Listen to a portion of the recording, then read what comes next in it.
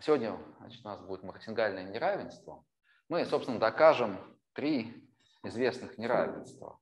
Два неравенства Дуба и неравенство Буркхольдера, Дэвиса, Ганди. Ну, докажем, мы докажем только неравенство Дуба, неравенство Буркхольдера, Дэвиса, Ганди в одном частном случае. Так.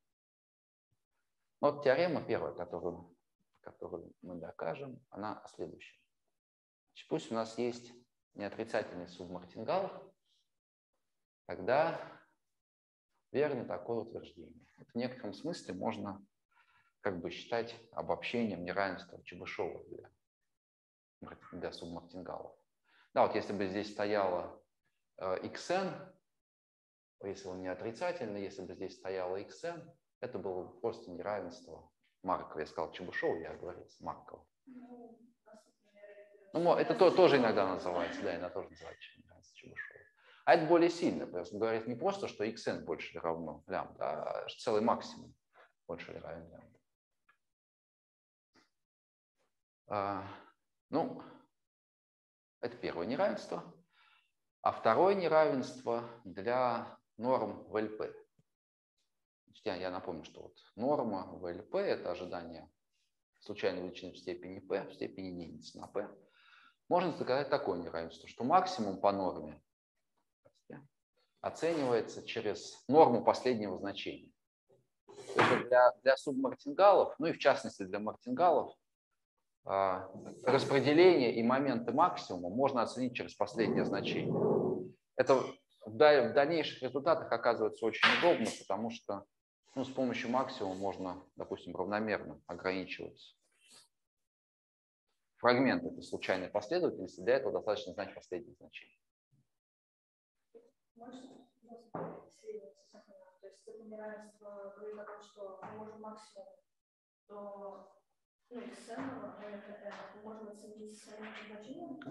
Да, ну не его самому, а вот его ожидание, его норму можно оценить через норму последнего значения.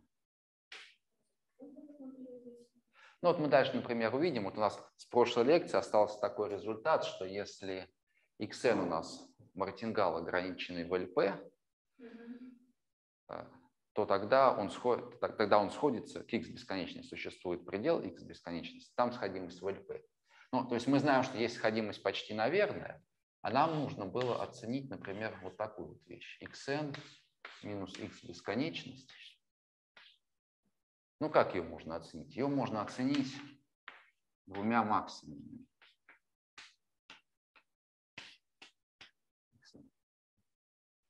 Да, просто меньше равно, вот этот меньше одного максимума по модулю, по модулю меньше. Это меньше равно другого максимума. Вот, а тогда, если мы хотим брать ожидание степени p и показывать, что это стремится к нулю, Значит, нам хотелось бы сказать, что почти, наверное, сходимость есть. Надо тогда, чтобы воспользоваться теоремой Лебега, ограничить это в ЛП. И вот в ЛП это будет ограничиваться ожиданием максимума степени P.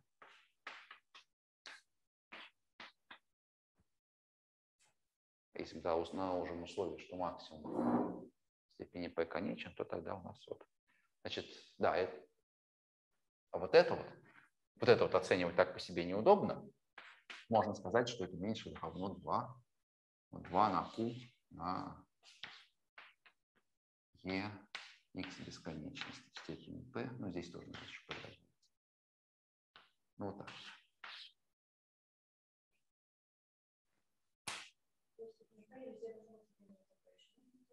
Я просто везде сразу все, все в степень p возвел. Ну, еще это, где это еще полезно? Еще это полезно в, в случае непрерывного времени, когда, если мы рассматриваем, допустим, э, ну, скажем, э, ну, мы дальше ведем интеграл по Мартингалу, и вот нужно э, оценить, оценить норму в пространстве непрерывных функций. То есть взять разность двух непрерывных функций, два интеграла, взять их, они будут мартингалами, взять разность, оценить их норму. Значит, норма это будет максимум. Но вот эту норму ожидания максимум степени p можно будет оценить только через последнее значение сигналов. В общем, удобно это. удобнее и будет применяться дальше. А, ну, давайте докажем. Значит, здесь доказательства такие. некоторая цепочка равенств. Но сейчас я прокомментирую, некоторые моменты подробно распишу. Ну вот в первом неравенстве. Оценим вероятность того, что максимум больше или равно лямбда. Значит, как можно это, как можно это записать? Можно это записать так. Ну вот единица на лямбда и лямбда просто я за бесплатно умножил и поделил на лямбда. А то, что здесь написано, вот это вот а, ожидание суммы, ну, утверждается, что это и есть вероятность. Значит, почему это вероятность? Ну, когда может произойти событие, что максимум xk э, больше или равен n? Значит, мы его разобьем, вот это вот событие, максимум xk больше или равен n, максимум xk, пока меньше или равно n, больше или равен лямбда, мы его разовьем на такие события, что максимум достигается на x0, максимум достигается на x1, на x2 и так далее на xn. То есть это можно представить в виде объединения событий. Максимум по xk пока меньше или равно n а, равен x тому, ну, по i от нуля до n. И этот максимум больше или равен лямбда. Значит, x больше или равно лямбда. Ну, тут, по-моему, для того, что может быть, допустим, э, могут быть две случайные величины, которые принимают одинаковое значение, равное максимуму. Давайте скажем, что вот это вот и это первый индекс. Первая такая случайная величина, которая равна максимуму. То есть, по сути, то, что здесь написано, это мы считаем вероятности того, что, например, x1 больше нуля, а потом x1 меньше лямбда, а 2 больше равно лямбда, так? Ну да, да, вот значит здесь, когда k равно нулю, ну вот сразу первое значение больше или равно лямбда. Может быть, первое значение меньше лямбда, второе значение больше лямбда. Вот там вот эти события, они все, конечно, не пересекающиеся, поэтому здесь вот написано сумма вероятности этих событий. Ну там ожидание индикатора – это и есть вероятность. То есть у нас несколько значений будет больше. Мы это здесь рассматриваем вероятность. Ну что. А, сейчас. Нет, то есть вот мы берем, мы берем первое значение, которое больше или равно лямбда. Если скажем x первое больше или равно, x нулевое больше или равно лямбда, то вот это событие x нулевое больше или равно лямбда, оно не пересечется со всеми остальными событиями, потому что во всех остальных событиях вот там есть условие x нулевое меньше лямбда. Вот, и, значит, они не совместны, ну и да, можно заметить, что действительно это в точности событие того, что когда-то ну, максимум, если эти события, одно из этих событий происходит, то максимум больше или равен лямбда. А если максимум больше или равен лямбда, ну, значит, какое-то из этих событий происходит. Так. Дальше можем сказать, ну, просто оценим вот это лямбда. Лямбда xkt будет больше или равно лямбда. Ну, значит, я здесь заменю лямбда на xkt. А потом в следующем свойстве. Вот это индикатор с тремя точками, ну, это вот то длинное событие, которое там написано. есть воспользуемся следующим. Величину xkt, поскольку это субмартингал, мы можем сказать, что xkt это меньше или равно, чем ожидание xn в условиях kt. Просто определение субмартингала. Поэтому вместо этого xk я подставлю вот такое вот ожидание xn. И у меня здесь получится единица на лямбда, а там будет ожидание от суммы от ожидания. Сейчас я поменяю их местами. Я напишу, что это поменяю сумму и внешнее ожидание местами. Сумма пока равна нуля до n. Будет ожидание. А потом под этим ожиданием будет условное ожидание xn при условии fkt. И здесь еще будет на индикатор.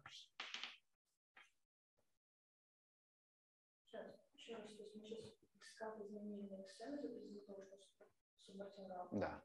Дальше мы поменяли местами да, сумму вынесли. Да. И я дальше не понял, а, вы воспользовались пробовой вероятностью?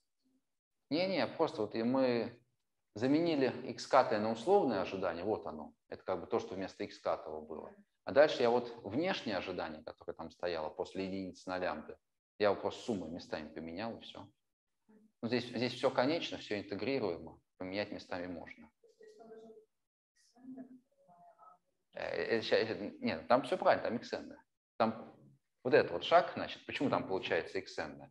Потому что вот, это, вот этот индикатор, он fk измерим, потому что там только величина до x катого. Значит, этот индикатор можно внести сюда, и потом можно взять два ожидания. Эти два ожидания нам дадут как раз-таки безусловное ожидание, и будет xn на индикатор.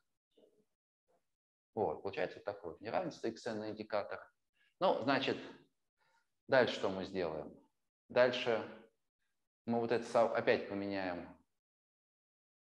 А,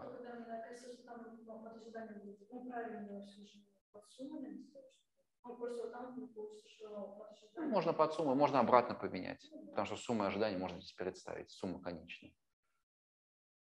Вот, а здесь дальше скажем, что вот, ну вот сумма таких поменяем xn с этой суммой. Сумма индикаторов, она таки как раз, как, вот, как мы поняли, это равна индикатор того, что максимум. Ну, максимум только по x там x пропущено. x больше или равно лямбда. Вот. А теперь мы можем сказать, что xn у нас не отрицательный по предположению. Значит, вот это все можно, индикатор, просто оценить единичкой. Все, вот, вот получается неравенство. Так, первое доказали. Второе. Ну, сейчас тоже будет цепочка некоторых таких преобразований. Значит, давайте для краткости обозначим. И дальше я буду использовать это обозначение. x со звездочкой до n – это максимум последовательности x до момента n. Ну вот оценим. Ну, нам нужно оценить ожидание максимума в степени p. Значит, первое, что можно сначала проинтегрировать по частям. А, значит, ну, как мы проинтегрируем по частям? Что такое ожидание xn со звездочкой степени p? Ну, это интеграл по t в степени p, d вероятность того, что xn со звездочкой меньше или равен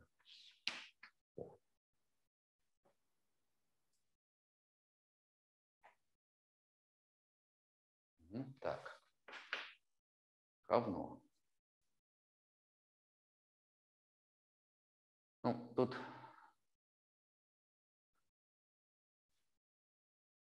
Сейчас. А.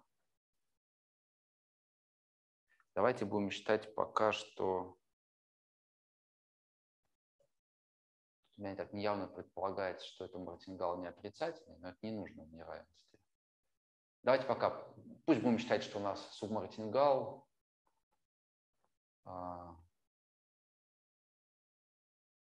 Давайте будем считать сейчас для простоты, что x нулевой у нас равно нулю. Тогда вот этот максимум у нас не отрицательная величина. Тогда здесь можно сказать, что здесь интеграл от нуля до бесконечности. Значит, теперь по частям. Ну да, не, не сразу по частям, а я запишу это так. Это интеграл от нуля до бесконечности. Ну, стандартно. D единицы минус p xn со звездочкой больше t.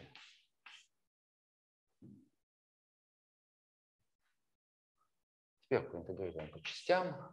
А, вот эту не единицу можно сократить. Здесь написать минус и написать это так. d dp xn больше равно t. Здесь будет t в степени p, вероятность xn со звездочкой больше t.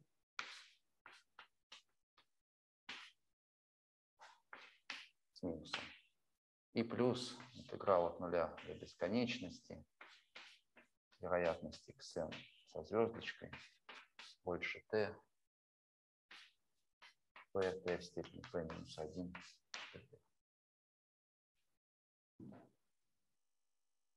Так, ну это в нуле это ноль, в бесконечности надо воспользоваться тем, что надо показать, что вот это вот,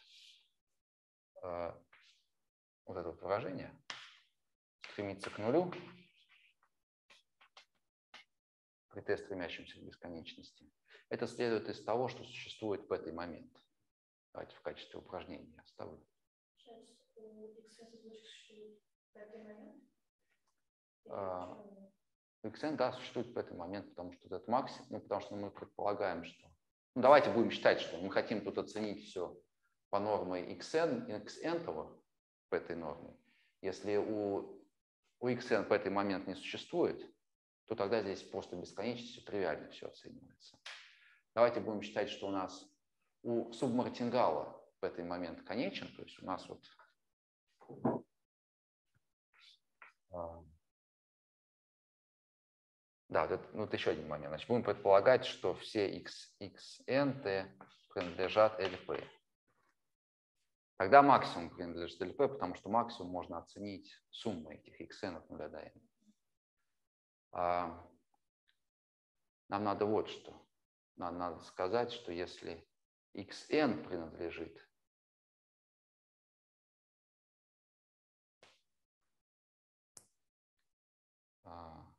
ну что если xn принадлежит lp, тогда и xm при m меньше n принадлежит lp. Ну как это можно сказать? Можно сказать так, что значит у нас э, вот ожидание xm в степени в степени p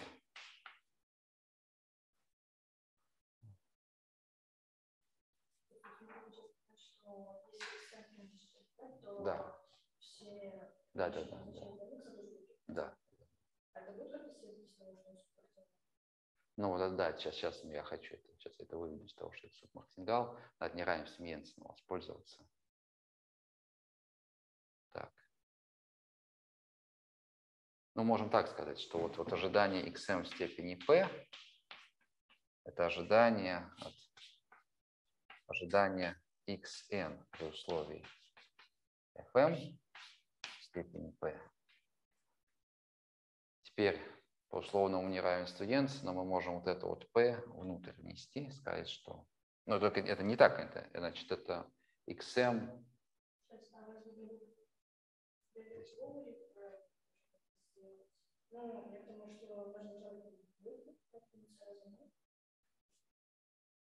Ну, давайте считать, что Ну да, должна. Давайте пока считать, что, скажем, пусть у нас не отрицательный. Тогда если для, для p, если у нас p больше единицы, то тогда все хорошо. А да, да, зачем это делать? Возьмем просто, да. Для p больше единицы, неотрицательность не обязательно. Возьмем p больше единицы. Будет у нас функция модуль x в степени p. Сейчас мы берем ну ладно, то есть сейчас ожидание от модуля x n степени да. Значит, первое, да, пока мы просто записали, что это, а поскольку у нас субмартингал, значит, мы можем сказать, что xm меньше или равно, чем ожидание э, xn при условии fm. Это следует из субмартингальности. Тогда, если мы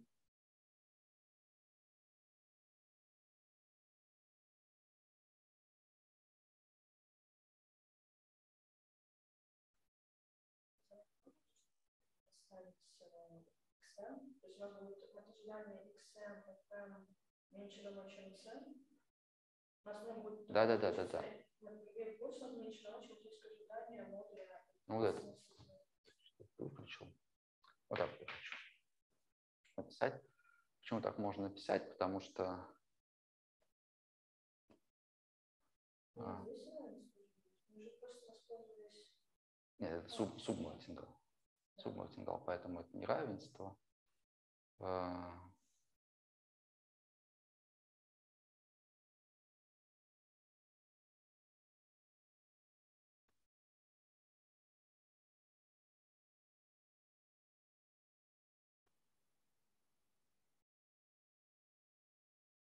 что-то опять не вот, вот, вот если было бы не отрицательно, было бы все бы хорошо. Тогда обе части просто возведем в степень p. С, а, с отрицательным, отрицательным хуже, если может быть отрицательное. Давайте, чтобы сейчас не тратить время, оставим это как упражнение. Давайте, если xm не отрицательно, тогда все хорошо, просто возводим это в степень p это в степень p. Получаем неравенство. А здесь дальше воспользуемся неравенством Йенсена. Неравенство Йенсена, вот это вот ожидание в степени p будет меньше или равно, чем ожидание от xn в степени p. Все это будет меньше или равно, чем ожидание от ожидания xn в степени p при условии fm.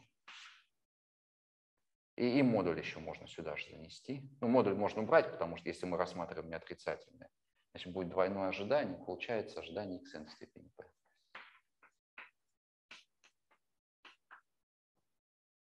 А вот с отрицательным, ну, как-то должно легко получиться, там можно рассмотреть, допустим, отдельно положительную, отрицательную часть. Давайте это упражнение оставим. Поверим в это. Так, вернемся теперь, да, вот сюда вот. А, значит, вот первое, проинтегрировали по частям. Значит, здесь написано, да, вот тут написано больше или равно. Ну, формально нужно написать здесь строго больше, но от этого здесь тогда нужно поставить меньше или равно неравенство. То есть либо убрать здесь строго больше, то написать здесь строго больше, либо можно оставить так, но поставить здесь неравенство меньше или равно. вот мы здесь используем типа, вероятность того, что кстати, дочка начнет это. Это, как понимаю, если я по-другому рассмотрю, ну, другую функцию распределения, я же могу меньше это рассмотреть. Ну, короче, я просто не, непонятно совсем. Какая разница?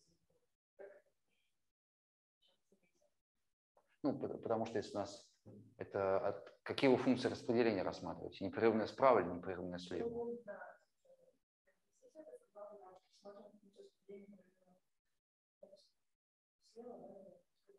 У нас функция непрерывного распределения непрерывное справа все.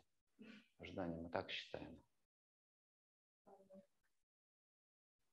Так, ну ладно, вот эту формулу проинтегрировали по частям. Дальше в b, ну, воспользуемся тем неравенством, которое мы доказали вот в первой части. Вот это неравенство здесь его левая часть максимум, и вот оно вот здесь вот. Все, что, все, что до последнего, до последнего неравенства. Поэтому оценим вот так вот. А, значит, сейчас ну да, единица минус t, она ушла, потому что здесь было больше или равно здесь t в степени p минус 1 стало t в степени p минус 2.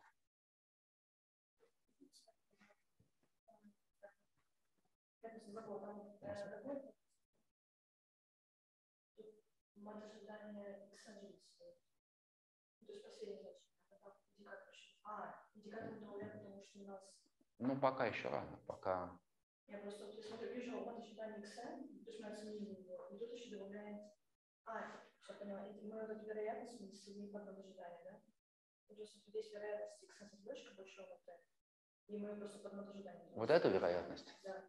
Не, мы здесь воспользуемся, вот она у нас есть, вот начало того неравенства, вероятность того, что максимум больше или равно лямбда, а вот его почти конец. Единица на лямбда, ожидание xn, максимум x капа.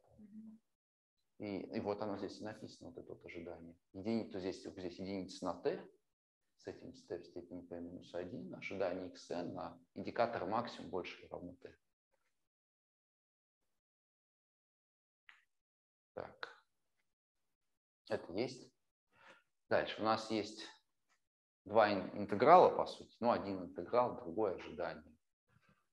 Так. В теореме Фубини поменяем предел. Надо проверить, что теорема Фубини применима. Ну, будем считать, что она применима. Поменяем. Поменяем местами. Ну, то есть надо проверить, что повторный интеграл, ну, допустим, по модулю здесь, вот этот интеграл, там все возьмем, по модулю существует. Значит, поменяли, получили такое ожидание. Ну а теперь надо это проинтегрировать. Да, если проинтегрируем, это будет ожидание xn xn степени p минус 1. Этот интеграл. И в D теперь надо воспользоваться неравенством Гёльдера. Поэтому будет, возьмем xn в пространстве LP, будет норма в LP, а вот эту величину возьмем в пространстве LQ. И получим x максимум в степени p минус 1 по норме в LQ. Ну а теперь надо проверить, что на самом деле, что такое xn со звездочкой в степени p минус 1 в пространстве LQ. Это будет ожидание x со звездочкой n в степени p минус 1 умножить на q. Все это в степени единицы на q. p, p минус 1 на q дает нам p. У нас было P, почему у нас стало Q в итоге? Ну, потому что здесь вот это будет, значит, надо это проинтегрировать, будет здесь p делить на p минус 1, А, p на p минус 1 даст q. Хорошо. И вот мы говорим, что это последняя э, норма. Ну, теперь что такое последняя норма? Последняя норма – это вот ожидание xn со звездочкой. С одной стороны, оно в степени p минус 1, потому что там p минус 1 написано. Потом она в степени q, потому что это норма в LQ. И потом все это в степени единицы на q. Значит, что здесь такое написано? p минус 1 на q. p минус 1 на q. Сколько у нас, значит? э, p это должно быть. Ну, давайте, давайте проверим. Единица на p плюс единица на q равно единице. Значит, Да.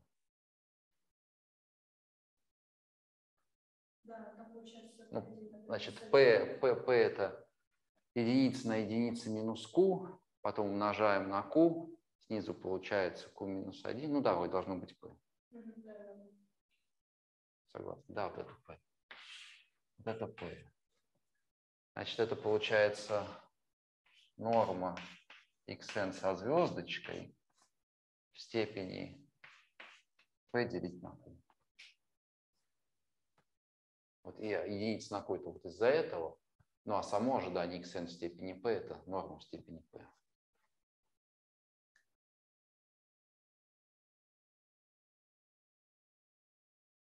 Вот, и теперь у нас в левой части у нас норма в степени p, норма максимум в степени p. Здесь у нас xn, норма xn в степени p. Надо, в общем, вот на это поделить. Если мы на это поделим, то левая часть, деленная на эту норму, ну, надо собрать эти p и q, и как раз это и даст норму xn степени, норму максимум степени p. На это надо поделить все. А, только здесь неправильно написано, надо делить на... А, нет, правильно все написано, надо делить вот на эту норму, и вот эту норму, вот эту вот то есть.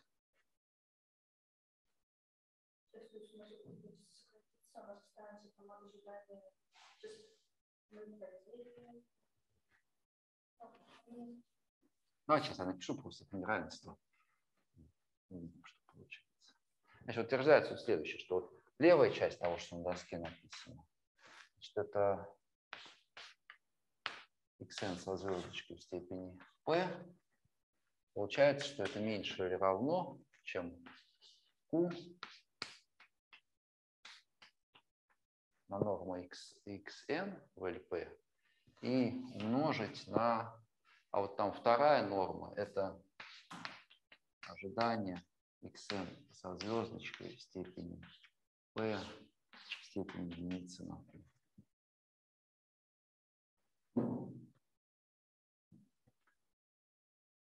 И теперь поделим, значит, в левой части, если поделить, в левой части получается p минус единица на q.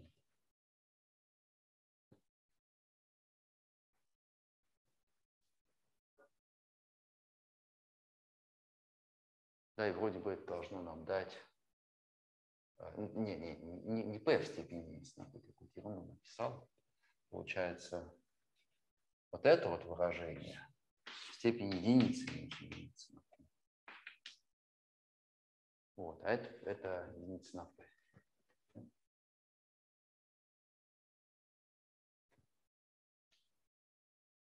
Ну, Вот, доказали мы, по крайней мере, допустим, по модулю того, что а, по модулю того, что x0 у нас равно нулю. Если x0 равно нулю, тогда здесь все хорошо. Вот если x0 у нас случайная величина и может быть отрицательной. Нет, а, я хочу, оно, должно, оно будет верный. Ну, давайте, давайте, ладно, давайте считать, что x больше равно нуля. Тогда все просто. Ну, там можно сделать так, вот рассмотреть субмартингал, допустим, с произвольным нулевым значением. Мы к нему можем добавить эту x0 величину. От этого он субмартингалом быть не перестанет. У него по-прежнему будет измеримость, по-прежнему будет выполняться неравенство, потому что x0 измеримо. Значит, здесь можно добавить x0, тогда максимум, если мы добавляем к максимуму одну и ту же величину, он по-прежнему останется максимумом. Ну а вот а здесь будет xn плюс x0.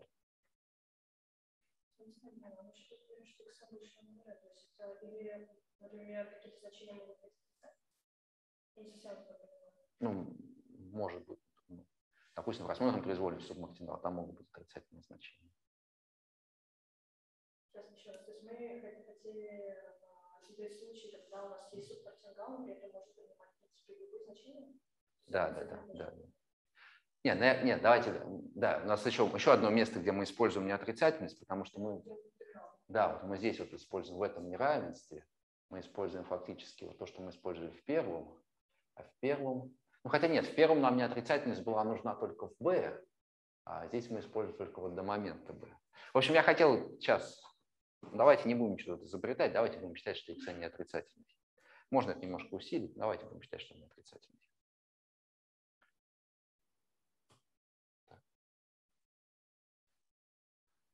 можно все же думать над доказательным адресом? Ну, когда у нас потенциально отрицательный, мы же можем смотреть, а, сдвинуть.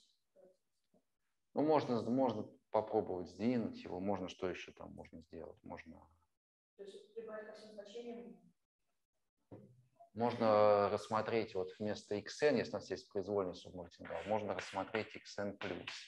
Это тоже будет субмартингал по неравенству Йенсена, поскольку у нас вот эта вот функция не убывает, она выпуклая. Это будет субмартингал. Значит, можно здесь написать максимум, вот, написать максимум x.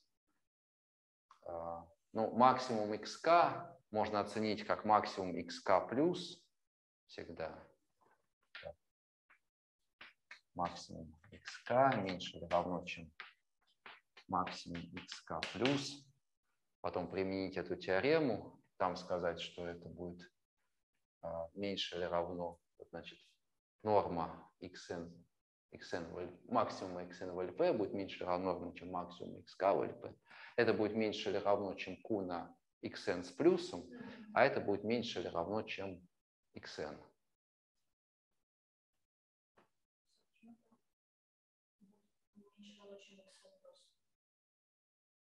Потому что, ну, если мы берем функцию плюс,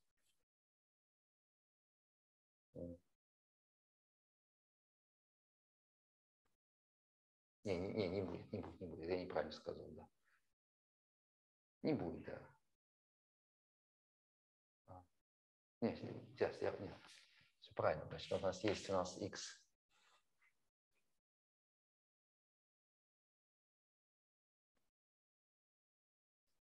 А, значит, мы там получили, допустим, что у нас есть xn плюс, вот так вот оценили основном ожидании.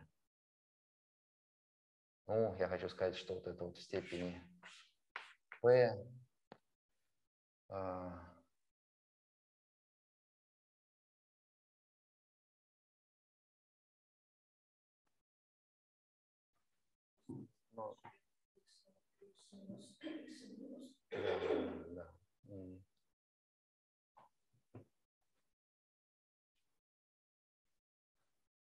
Ну вот xn, x, xn плюс меньше или равен, чем модуль xn, тогда, значит, это меньше или равно, чем ожидание модуля xn в степени p.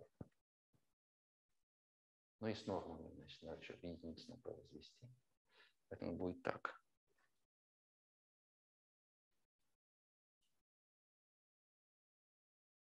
Ну, только надо, значит... Что-то мне здесь не нравится. Ну ладно, давайте, давайте.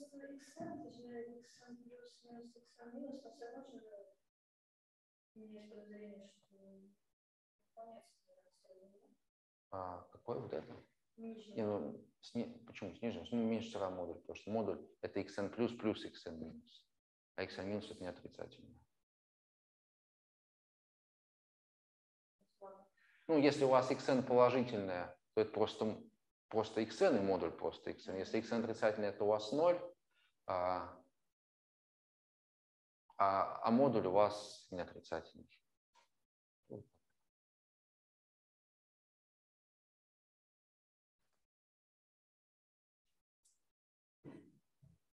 Ну, давайте-то в качестве упражнения подумайте, что, что здесь, как мы здесь можно ослабить это условие. Ну, нам оно достаточно будет считать, что xn всегда не отрицательный.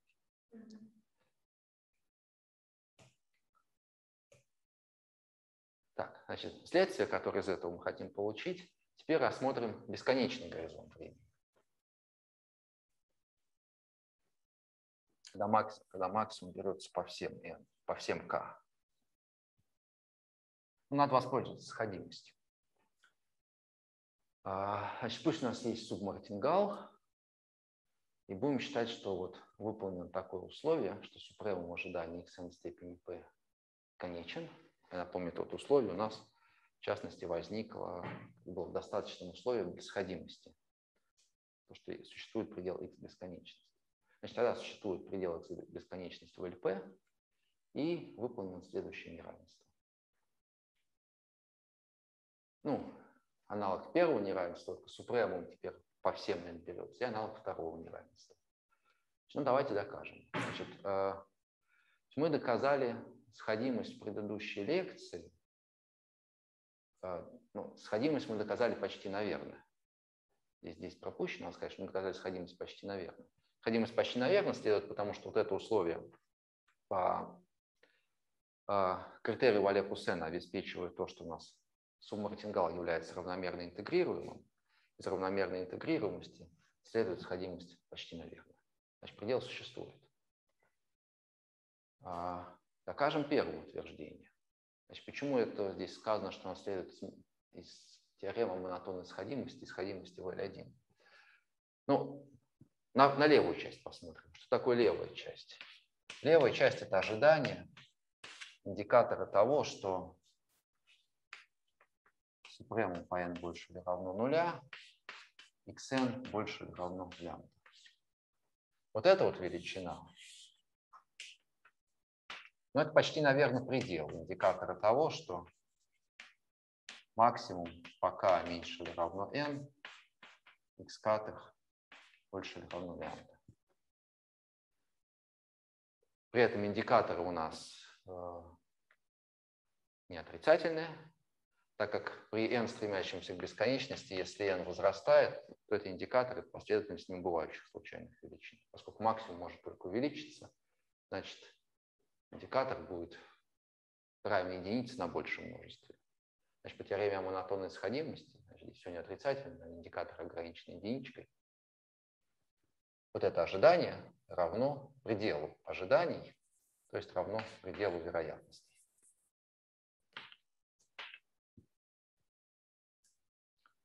Для вероятности у нас есть оценка. Это меньше равно, чем единица на лямбда. Ожиданий xn. Это мы доказали в предыдущей части. А здесь мы говорим, что раз у нас мартингал равномерно интегрируемый, то тут есть сходимость. Ожидание xn, ну, значит, здесь надо предел написать. Здесь предел, поскольку здесь у нас предел. Если есть сходимость в L1, но ну, в частности ожидание сходится. Значит, это ожидание x бесконечности. Так,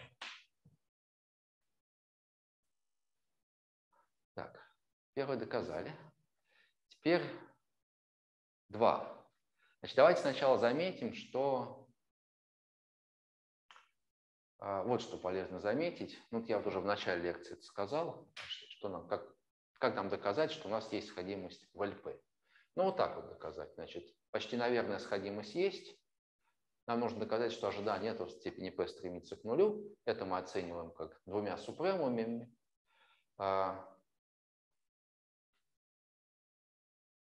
Сейчас, но здесь что-то... Да, вот мы оцениваем двумя... Сейчас, сейчас, сейчас я напишу это подробно. Значит, мы рассмотрим эту величину. Ожидание xn минус x нулевого. Только не x, x бесконечности. В степени p мы скажем, что это меньше или равно, чем 2 ожидания так,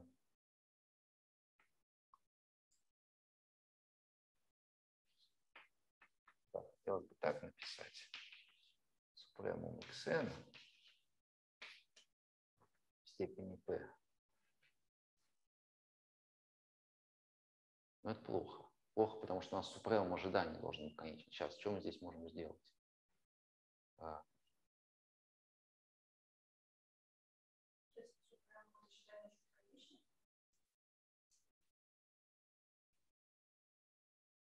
А, супре, вот супрем ожидания x степени p по условию конечного. А, а, ну вот. Вот, теперь посмотрим на, вот, на супремум xn, на норму супремума xn в степени p, то есть вот на ожидание, ну, на ожидание супремума в степени p. Вот ее мы можем так оценить.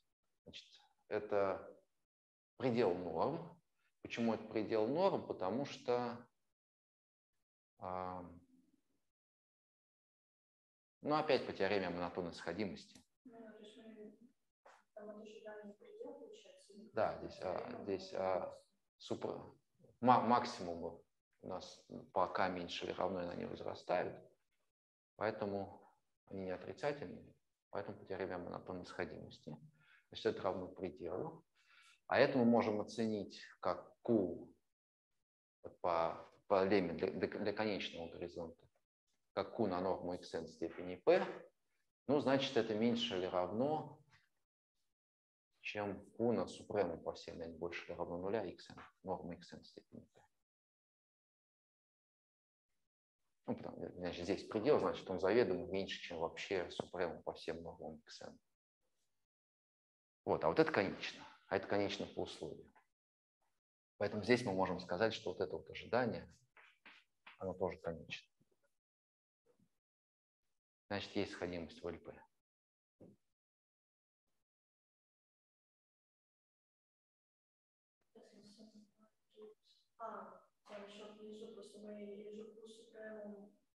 Xn, а у нас в условии у на норму бесконечно стоит.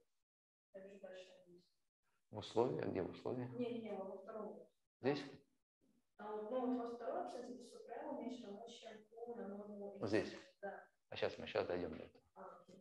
Значит, пока мы доказали, что вот у нас вот есть такая оценка, из нее следует сходимость в ЛП.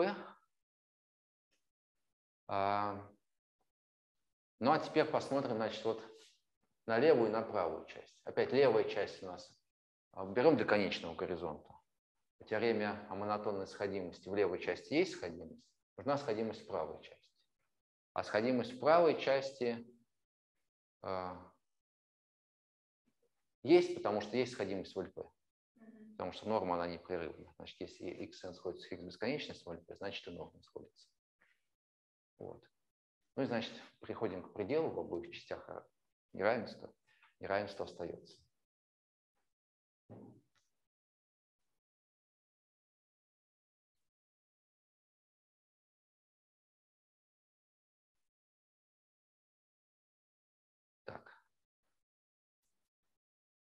С этим разобрались.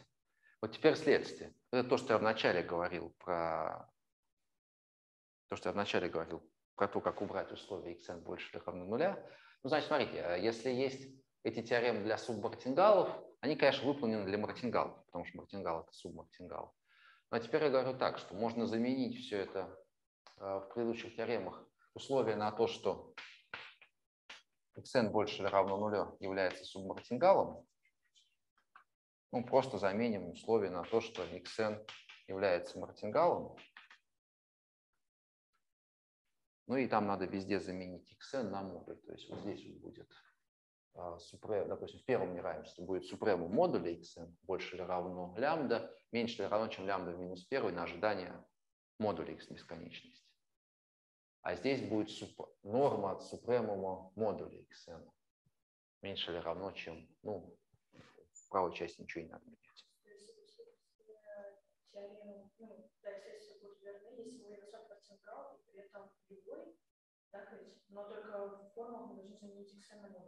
Да.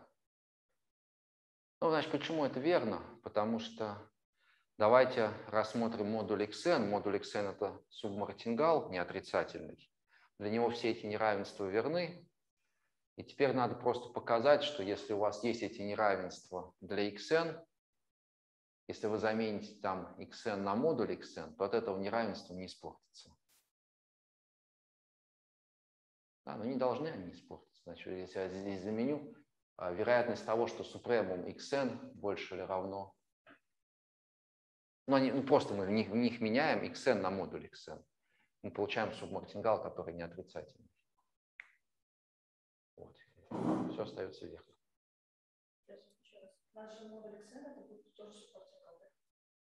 xn мартингал, да, а модуль xn субмартингал. А, ну, ну субмартингал.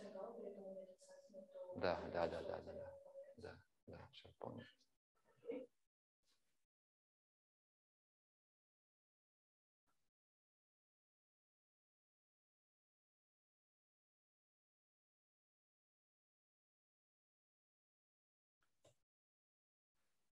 Ну вот пример.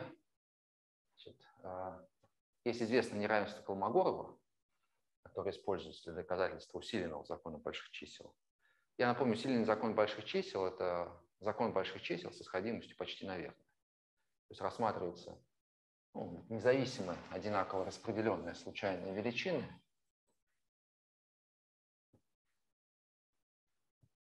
Ну, а, самая простая формулировка пусть у нас есть xn независимо одинаково распределенное с конечным ожиданием. Ожидание xn равно нулю. Тогда мы обозначим Sn частичная сумма от единицы на n. Тогда Sn делить на n стремится к μ. Это усиленный закон больших чисел. Значит, там в доказательстве, ну, в одном из доказательств, которое можно привести, вот, э, которое по Колмогорову приведено, но вот используется такое неравенство. Что нужно оценить максимум xk больше или равно лямбда. Ну вот упражнение вывести его из, из того, что мы доказали, из неравенства дуба. Значит, ну что здесь нужно взять? Если у нас есть независимые случайные величины с нулевым средним, тогда xn – это будет мартингал. Тогда возьмем это неравенство. Значит, xn будет мартингал, и x, и даже xn квадрат будет мартингалом. Потому что неравенство Йенсена. Да. Тогда максимум x ката больше или равно лямбда, все равно, что ну, максимум модуль x ката больше или равно лямбда, все равно, что максимум x в квадрате больше или равно лямбда. Да, просто здесь в квадрате. Ну, как неравенство, почти как, да. Неравенство Чебушева вводится из неравенства Маркова. Также здесь.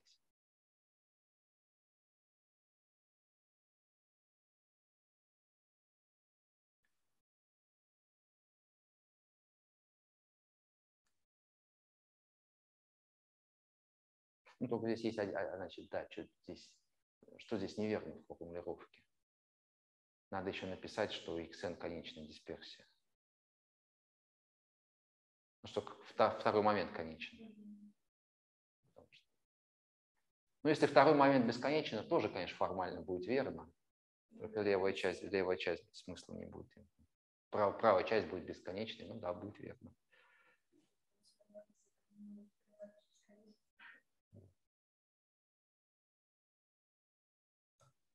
Так, а, во второй части еще одно неравенство. но доказывается довольно-таки, в общем случае, довольно-таки тяжело, но вот есть одно, один случай для p равное 2. Сейчас мы разберем. Значит, вот с мартингалами а, важная величина, которая связана с мартингалами, но ну, особенно она оказывается важной в непрерывном времени. Это так называемая квадратическая вариация. Значит, в дискретном случае это просто рассмотрим такую последовательность согласованная, сумма квадратов превращений. Ну вот это вот дельта xn, это xn минус xn минус 1.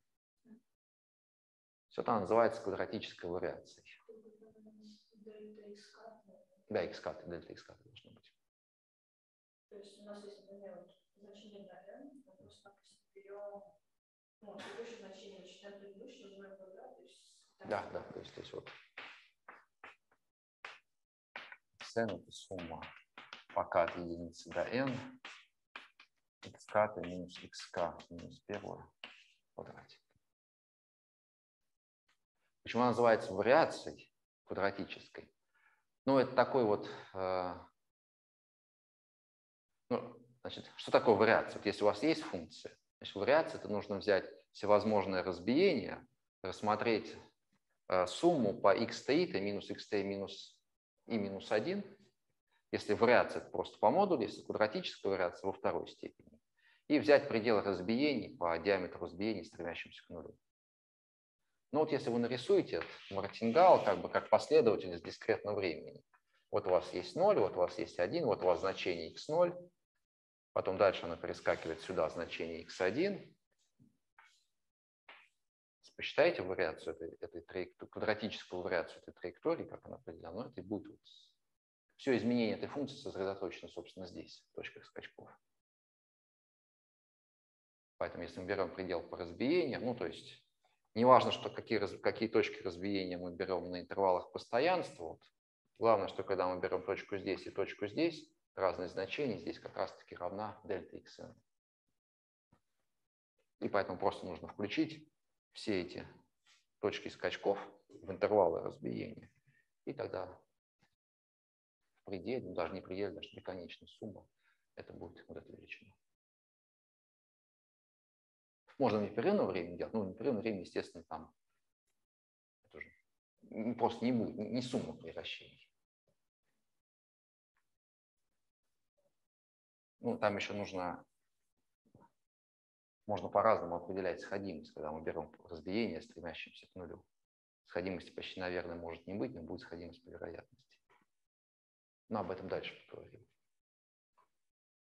Можно вот так вот оценить. Вот если у нас есть квадратическая вариация, тогда максимум, пусть у нас xn мартингал, тогда максимум мартингала можно оценить сверху и снизу. Норму, норму максимум можно оценить норму квадратической вариации. Значит, в этом неравенстве, ну, его тоже можно сначала доказывать для конечного горизонта, потом для бесконечного, но поэтому я здесь пишу n либо конечное число, либо в том числе верно, когда и для бесконечности.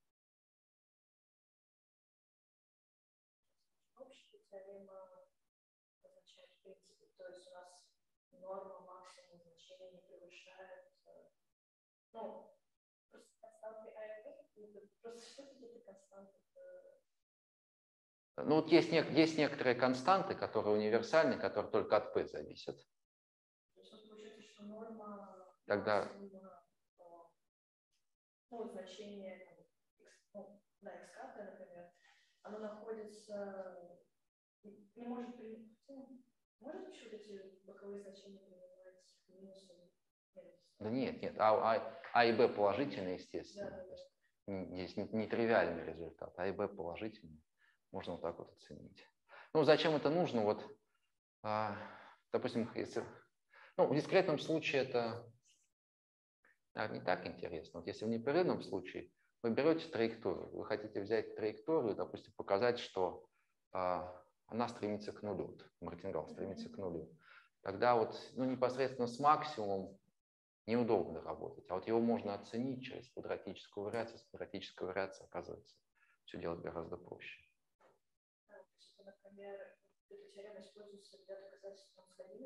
Да, да, да. Вот, например, Возьмем броуновское движение, там квадратическая вариация t. А если взять, ну, если взять какой-нибудь диффузионный процесс, тогда квадратическая вариация будет интеграл от сигма от xt до t. Интеграл там не по броуновскому движению, а детерминированный. Ну, под, под это. Дальше поговорим. Дальше будет.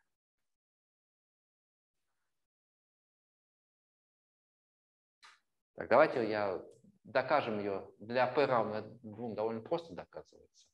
Для произвольного случая оставляем самостоятельный разбор. Для p равно 1 тоже можно сравнительно легко доказать по статье Дэвиса. Ну, там просто оценки, оценки, оценки идут.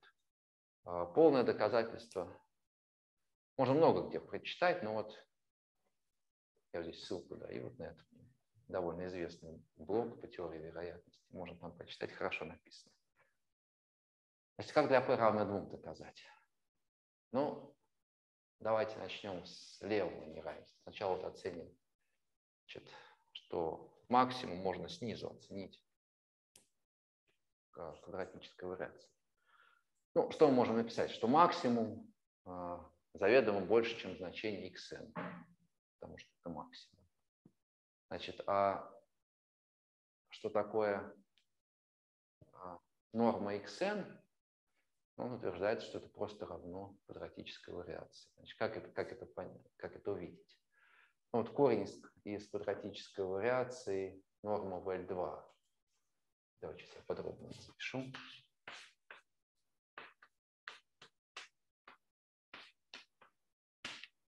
Значит, это ожидание, корень из квадратической вариации в квадрате, степень 1 вторая. Ну, поэтому корень с квадратом сокращаются, остается ожидание. xn степень 1 вторая. Теперь, что такое ожидание xn? Ожидание xn здесь это у нас сумма квадратов приращений. Значит, это ожидание, сумма k от единицы до n, дельта x в квадрате, и все это степень 1 вторая. Теперь я поменяю ожидание сумму местами и ожидание дельта x ката. Здесь я еще вставлю одно ожидание при условии сигма алгебры в k минус 1. То здесь будет ожидание дельта x ката в квадрате. Внутрь можно всегда вставить условное ожидание. Поэтому это равно сумма пока ожидание, ожидание дельта x ката в квадрате при условии f k минус 1.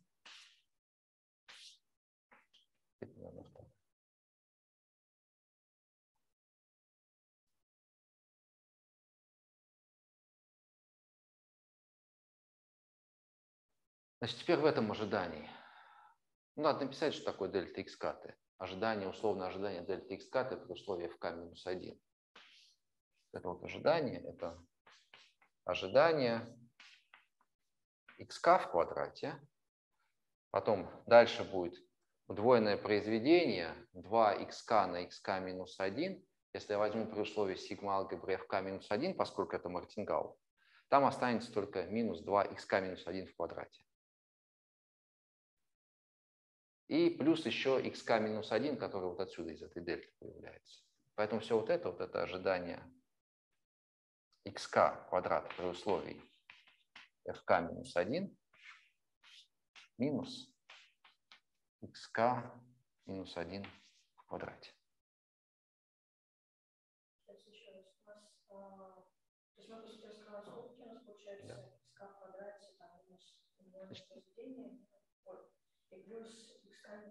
Да. да. Второе, мы используем линейность Значит, ну, используем линейность, вот xk в квадрате. Вот он. Потом, там, где удвоенное произведение, это ожидание xk на xk минус 1 при условии fk минус 1.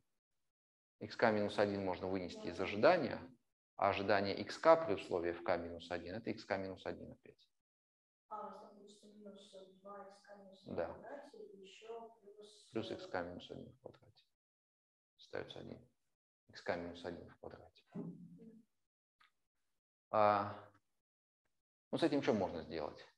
Можно опять взять ожидание, вот это вот ожидание, которое у нас здесь осталось. Поэтому будет xk в квадрате минус ожида, ожидание xk в квадрате минус ожидание xk минус 1 в квадрате. потом опять ожидание поменять суммой, это получится, что это ожидание, сумма, пока от единицы до n, xk в квадрате минус xk минус 1 в квадрате.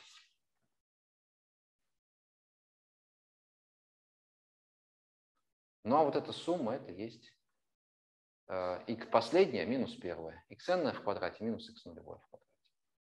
Ну, поэтому вот этот xn в квадрате.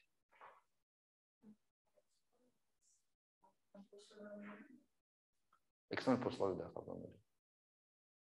Слева неравенство и так далее. Ну, тут что здесь не хватает? Что здесь пропущено? Что здесь неаккуратно сделано? Нет. Но здесь как бы считается, что n конечное вообще.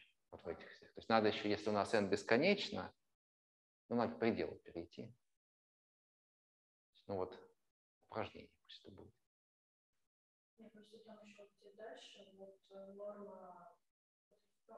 А, ну здесь, ну здесь просто ошибка, да, неаккуратно, здесь просто ошибка. Надо, надо, надо здесь писать.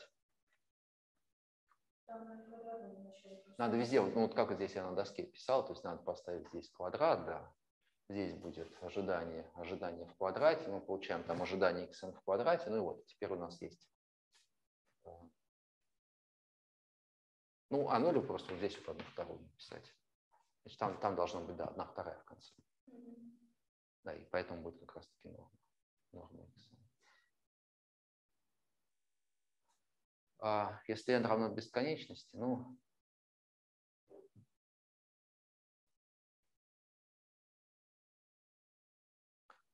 Еще хотел сказать, что когда у нас n равно бесконечности, ну, хочется к пределу перейти, только надо это убедиться, что этот предел существует.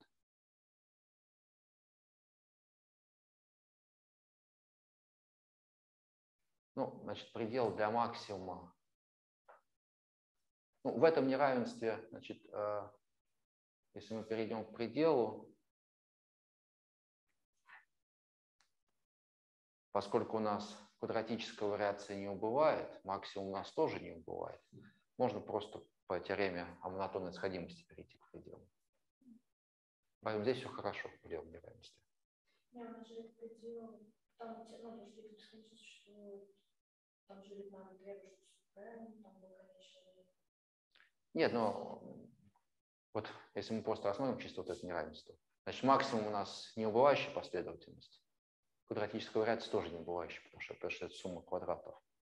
Ну, можно здесь получиться бесконечность меньше или равна бесконечности. Ну, будет верно. Но пределы существуют, конечно либо бесконечно.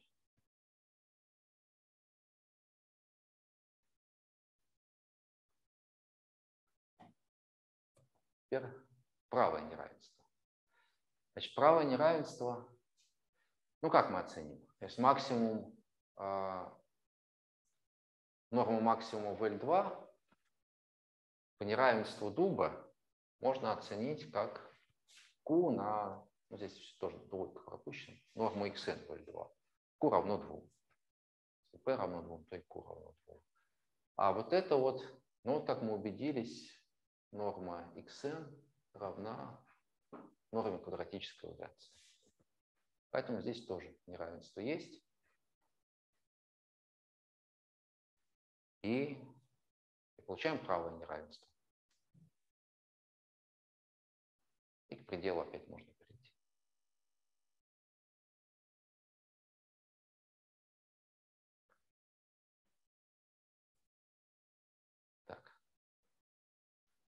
Ну вот, вот, вот в случае 2 доказательство простое, следовательно, неравенство.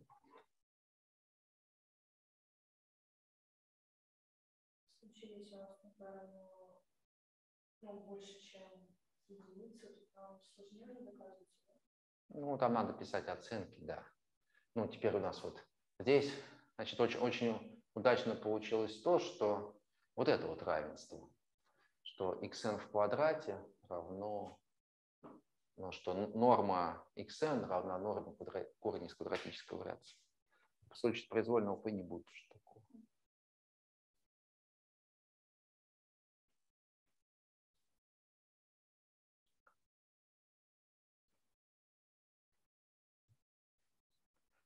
Так, ну вот с неравенствами Это все, что я хотел сказать. А, значит, дальше у нас такой план. Дальше я хотел поговорить про множество сходимости. Наверное, сейчас уже наверное, не будем уже это начинать. Но вот идея будет такая. Значит, мы в предыдущей лекции дали достаточные условия, когда мартингал и субмартингал сходятся почти наверное. А теперь мы немножко эти условия улучшим и вот скажем, на каком множестве мартингал сходится, на каком мартингал не сходится. И, и вот это будет, все эти результаты будут даны ну, для, сначала для субмартингалов в терминах множества, там, где субмартингал ограничен. Он будет сходиться там, где субмартингал будет сходиться там, где он ограничен. Это первое. Дальше из этого мы выведем, что сходимость можно задать, а, множество сходимостей можно охарактеризовать с помощью предсказуемой последовательности из разложения дуба.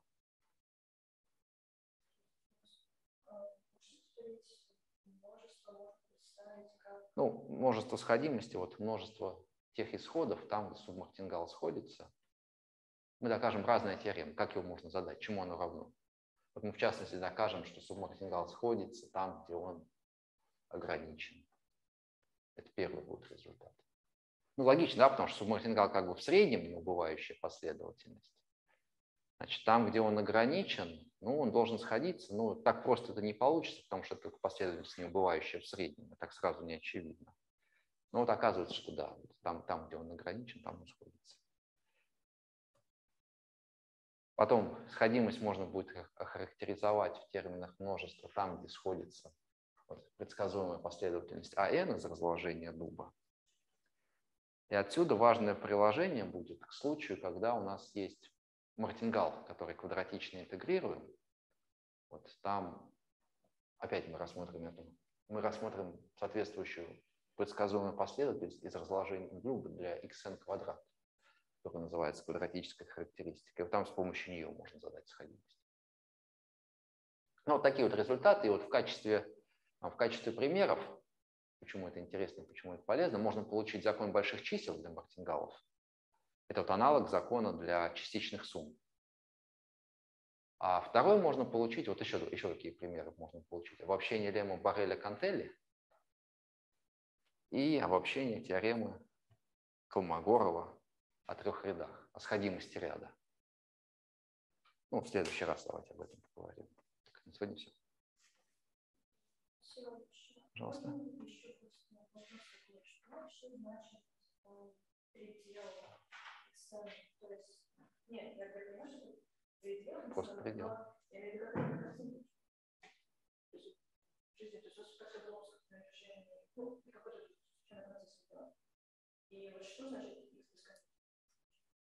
Значит существует предел, но вот. Вот идет предел, вот, допустим, вот он вот так вот пошел, вот предел ноль. То есть на достаточно большом ну, просто последовательно сходится, да. Ну, вот мы здесь доказывали сходимость почти наверное, значит, для все, почти всех реализаций там просто предел чему-то равен. Ну вот рассмотрите вот э, с бронским движением знакомого, да? Да. Ну вот рассмотрите геометрическое бронское движение. Возьмите dxt равное ну xt dt плюс сигма xt dbt. Значит, когда это мартингал? Ну, это мартингал, когда μ равно нулю.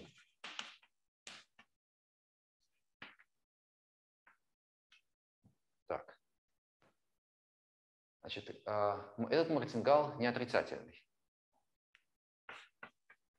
Не отрицательный, потому что, потому что явное решение есть от экспонента.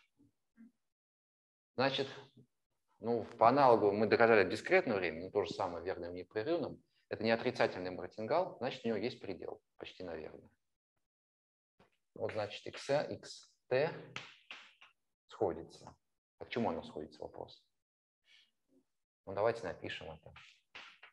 xt это x0, e в степени, ну, сигма bt минус плюс сигма квадрат плюс мю Давайте минус.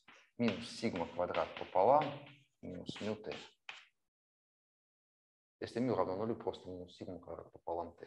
Значит, в экспоненте мы получаем сигма на bt минус сигма квадрат пополам t. Но вот эта линейная функция, она сбивает броуновское движение, потому что броуновское движение растет медленнее, чем линейное. Да, поэтому, значит, предел вот этого, это все стремится к минус бесконечности. Значит, этот мартингал стремится к нулю.